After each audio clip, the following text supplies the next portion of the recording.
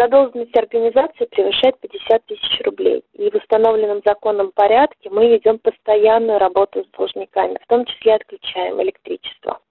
А, важно, чтобы все жители да, организации города своевременно оплачивали ресурсы. Потому что эти деньги идут на ремонт сетей, на модернизацию оборудования, а это в свою очередь обеспечивает надежное энергоснабжение всего города.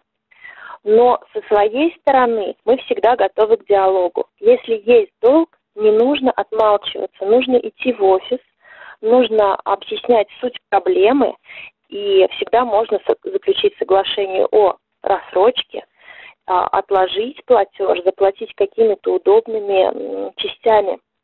Мы созвонились а, с директором приюта, а, выработали механизм решения проблемы долга.